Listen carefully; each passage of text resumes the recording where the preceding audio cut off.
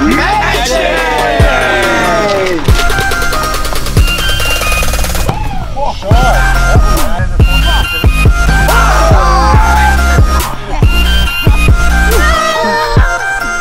neues YouTube-Video. Wir sind in der Fußball Academy. Vielen Dank erstmal Emanuel, der ist hinter der Kamera, dass das ermöglicht worden ist. Wir zeigen euch alle Eindrücke von der Academy. Hier sind auch noch ein paar richtig coole Kicker dabei. Wir werden uns da alles natürlich genau angucken, machen auch ein paar Challenges. Wir fangen auch direkt an, einfach mal aufs Tor zu schießen, einfach mal die Grundqualität zu sehen und dann zeigen euch die ganze Academy, wie die Uhren hier ticken. Und ich freue mich einfach mit euch, dieses Video zu machen.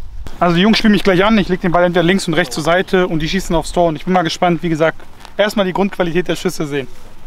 Okay, let's go. Woo! Nice one. What a goal. Aber ah, die Nice können alle, die können alle. Show him. I play right or left. Show him. Ah, sorry. Good save. Pass the ball cross. Nice goal. Machen wir eins, zwei. Shot. Shot. Nice one. Nice one. David. Was vor?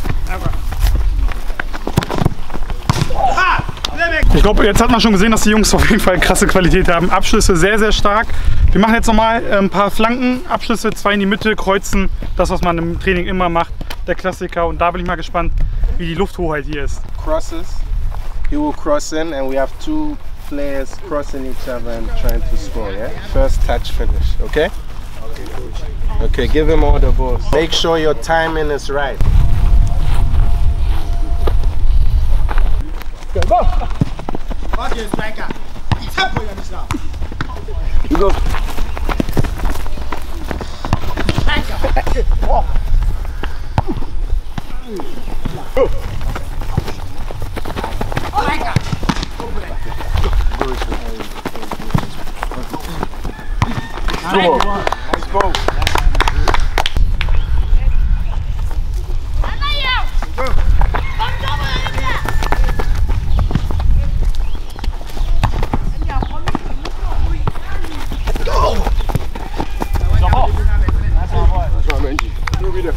first.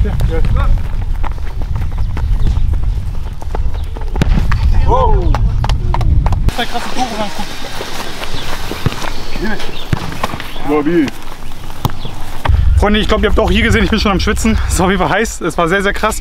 Wir machen jetzt noch zum Schluss eine Sache. Und zwar habe ich natürlich noch ein paar Geschenke da. Die Jungs wissen noch nicht, dass ich noch viel, viel mehr habe.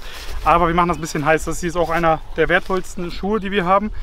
Wir machen dieses klassische Penalty-Schießen. Aufs Tor zulaufen. Wer trifft, kommt eine Runde weiter. Wer nicht trifft, ist raus. Bis zum Finale. Und der Gewinner kriegt dann diese Schuhe hier. Wie gesagt, ich habe für die anderen Jungs natürlich auch noch was dabei. Aber die sollen natürlich erstmal kämpfen. And the winner, the last winner, get the new Nike boots uh, from Germany. This one. For the winner, okay? An dieser Stelle nochmal kurz Dank an die 11 Team Sports, die das nochmal ermöglicht haben. Ne? Das ist nicht selbstverständlich. Watch. Everybody watch. Here is the starting point, so you go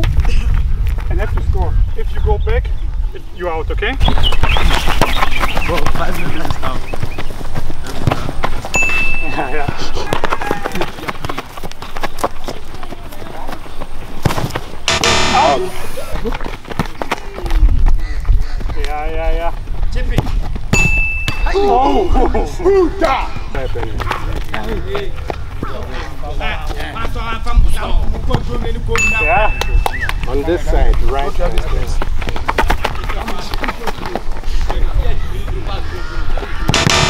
great save.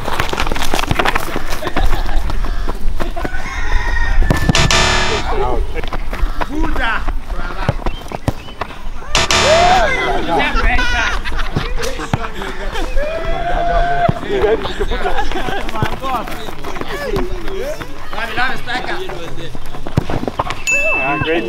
You guys come again. Erste Runde, wir haben nur noch vier Spieler dabei. Also es wird jetzt spannend. Ich sage, alles was ich habe, setze ich auf diesen Mann hier. Der macht das. Nummer zwei, merkt euch das. Ich sage euch, er macht das. He bet on you. I bet all my money on you.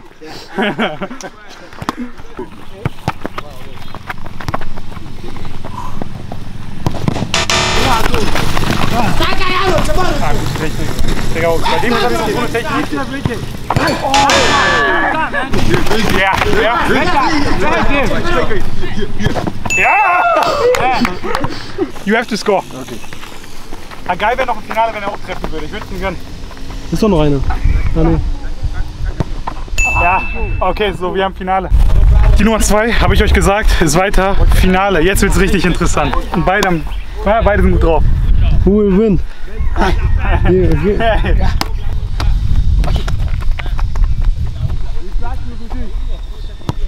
Oh, der ist sehr gut. So.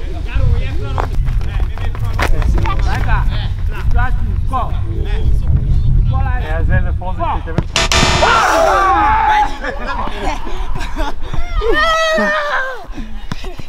Bro, you good for you. Thank you, thank you, Welcome, thank you very much. You have something to say? Yeah, it's a great feeling for me today. I thank this company for giving me this boot. I'm grateful. Thank you. Alright, game, alright, game, boy. You got boys. Boah, ey, so riesen cool. Eh? Wow. Very, very, very cool. But nice. Yet now you have to score every time. Yeah.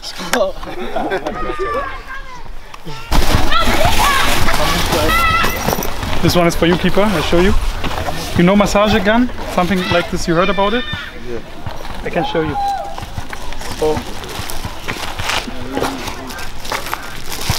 this one, you can take this one inside, put it on, and now you can massage you.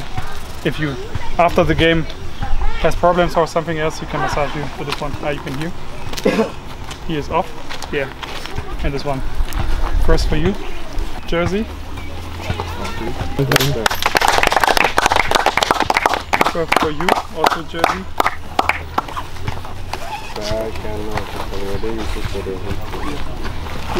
White Jersey.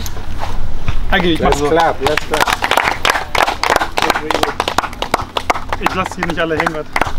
For you all.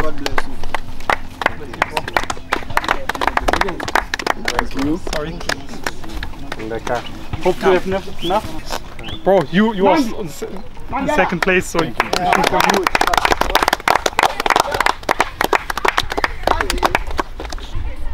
Great crosses for you, the new Puma. Thank you.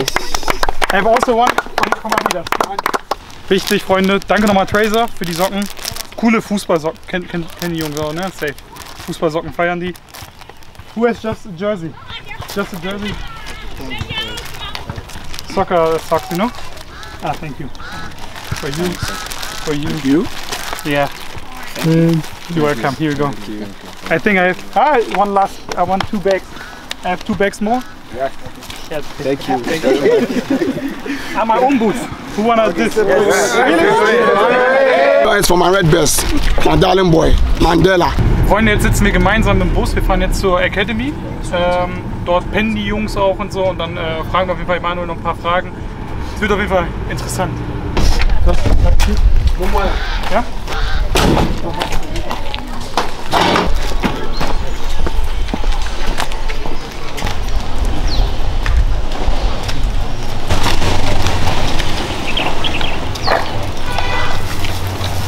Freunde, wir sind an der Academy angekommen. Jetzt gehen wir mit Emanuel rein, gucken uns das Ganze an, stellen da die Fragen. Und ich bin da wirklich gespannt, was uns erwartet. Ready? Yeah, let's go. Also hier im Academy-Gebäude schlafen die Spieler auch, ne? so wie in Deutschland die Internate. Korrigiere mich Emanuel, wenn ich falsch liege, aber es sieht ganz klassisch danach aus, dass die Spieler hier schlafen, dementsprechend halt auf dem Platz trainieren. Hier ist äh, auch das Top-Talent äh, neben uns von der Academy. Wo siehst du ihn? Welche Liga? Äh, 16 Jahre alt? Genau. Was sagst du? Ja, also er könnte auf jeden Fall A-Bundesliga jetzt spielen. Oder B-Bundesliga. Er spielt ja schon mit Eltern zusammen. Ja. Ja, Ist jetzt ein bisschen eingeschlagen. Deswegen, deswegen war er heute nicht dabei, aber ja, er ist für uns einer der größten Talente. Ja, das ist schon Wahnsinn. Wir haben ja draußen schon die Qualität der Jungs gesehen. Ich finde die Dynamik krass. Also wirklich super, super Spieler. Und er ist mit 16 Jahren das Top-Talent, spielt mit Älteren. Ist schon, schon heftig. Stärken von ihm, äh, was würdest du sagen? Ja, technisch versiert, hat eine sehr gute Übersicht und ist halt dynamisch. Ja, ja, ja. Bin mal wirklich gespannt, wo wir ihn in den nächsten Jahren sehen. Sollen wir weitergehen? Ja, komm. This? Yes. Ich hoffe, die passen. Ne? We hope that they'll fit you.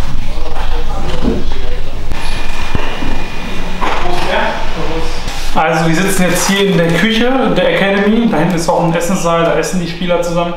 Äh, jetzt einfach so eine Frage. Ernähren die Fußballer sich hier auch so wie in deutschen Internaten, dass sie so, ja, ich sag mal, fußballbezogen essen oder wie läuft das da? Ja, wir versuchen das natürlich, aber es ist immer eine finanzielle Frage. Ne? Ja, klar. Ähm, wir haben ein Budget für die jeden Monat und äh, da versuchen wir natürlich darauf zu achten.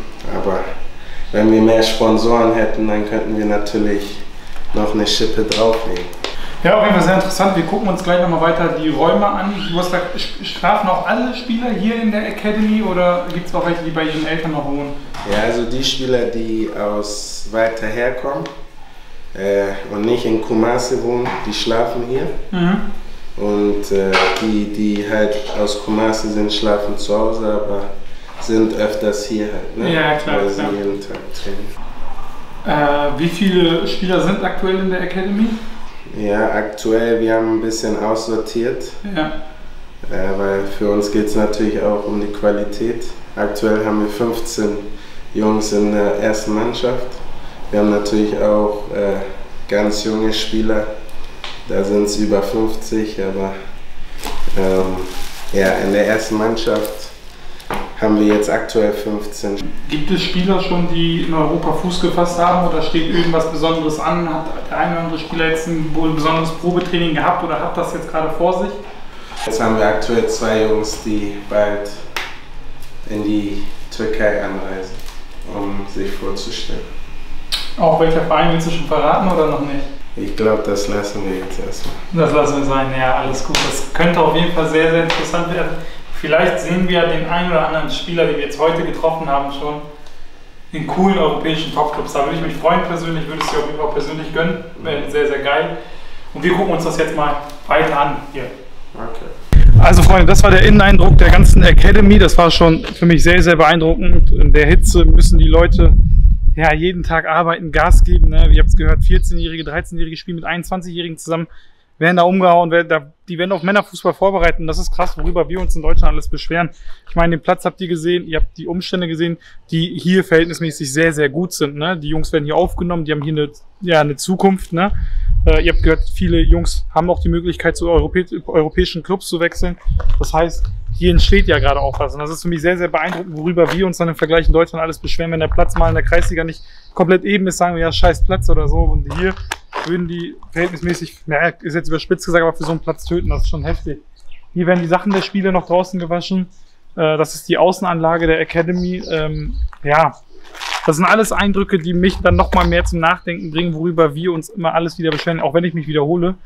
Aber die Jungs sind so froh, einfach Sicht zu haben. Ne? Die, habt, ihr habt die Zimmer gesehen, da ist keine Playstation, da ist kein Fernseher, da ist gar nichts. Da ist ein Bett drin, ne? deren Fußballsachen, die stehen da morgens auf, spielen da bis abends Fußball, werden da trainiert so und das, das war's. Ne? Das ist jetzt hier, ihr habt's ja selber gesehen. Ne? Und ich will mal auch gerne eure Meinung dazu wissen, was ihr darüber denkt. Ich schreibe mal gerne eure Meinung in die Kommentare dazu. Aber es ist meine persönliche Meinung und das bringt, macht, bringt mich gerade echt extrem zum Nachdenken. Ja, Freunde, hier nochmal die Außenanlage der Academy. Hier vorne, hier links, wenn man nach links filmt, sieht, sieht man das gleich, sind die äh, Zimmer der jeweiligen Spieler. Ja, so, keine Ahnung. Das ist das erste Mal in einem YouTube-Video, wo ich selber so ein bisschen sprachlos bin. Ich hoffe natürlich selber, dass ich auch mit den Geschenken den Jungs, ich glaube aber, man hat es gesehen in den Augen, äh, das ist eine Riesenfreude. Das war auch, als Emanuel gesagt hat, dass der eine Junge verschießt, als wir um die Schuhe gespielt haben, weil er nervös ist. So, wir haben um eine kleine, das war ein kleines Spaß. Die Jungs haben ja alle was bekommen am Ende des Tages, Schuhe, keine Ahnung. Aber das ging halt für die halt schon um wirklich richtig was. So neue Schuhe, das war für die halt alle vielleicht mehr als ein Sechs am Lotto. Auch das Top-Talent von denen hat gerade neue Schuhe bekommen. Und ich weiß, ihr wisst, was ich meine, in Deutschland, wenn wir dann in unserem Verein, Landesliga, Oberliga, keine Ahnung was spielen und dann ein paar äh, Schuhe umsonst kriegen im Jahr oder so, sagen wir, ja, die sind aber scheiße, wir können nur bis 100 Euro. So war das bei der Landesliga bei uns immer. Konntest du Schuhe nur bis 100 Euro holen, haben uns beschwert, warum wir uns keine 250 Euro Schuhe holen können. Und da denkt man so drüber nach, Alter, was für ein Wichser ist man eigentlich selber? Sorry für das Wort, das piepen wir mal raus. Aber wisst ihr, was ich meine? Und deshalb ist es einfach nur cool, das jetzt heute gemacht zu haben. Das ist wirklich eine schöne Sache, glaube ich. Ich glaube, die Jungs haben sich super gefreut. Also, da an dieser Stelle nochmal Riesendank an Emanuel, der das ermöglicht hat. Grüße auch an Umut, der das auch mit ermöglicht hat. Liebe Grüße, Umut. Und vor allem ein riesengroßes Dankeschön, die das ganze Video auch mit begleitet haben, an Tracer. Ich blende euch die Socken nochmal ein. Die Jungs hatten alle die Socken an. Ich habe sie auch noch an. Richtig stabile Fußballsocken. Checkt es sehr, sehr gerne ab. Rabattcode, Link ist natürlich alles in der Videobeschreibung. Vielen, vielen Dank, wie gesagt, dass ihr das mitgemacht habt. So ein, so ein Projekt macht nicht jeder Sponsor mit. Tracer hat es mitgemacht, hat es mitbegleitet. Und dafür gibt es auch nur, nicht nur meinen vollsten Support, auch ein riesengroßes Dankeschön. Und auch an euch ein riesengroßes Dankeschön, dass ihr wieder eingeschaltet habt. Ich ho hoffe wirklich sehr, dass euch diese Eindrücke hier in Ghana gefallen. Es kommen auf jeden Fall noch weitere Videos äh, aus Ghana. Äh, nicht aus der Fußball-Academy, aber an sich aus zu Ghana. Und ich hoffe, ihr schaltet dann auch wieder ein. Bis zum nächsten Video. Kanal abonnieren, Glocke aktivieren, ganz, ganz wichtig. Freue ich mich über jeden Einzelnen. Und jetzt sehen wir uns im nächsten Video wieder. Haut rein.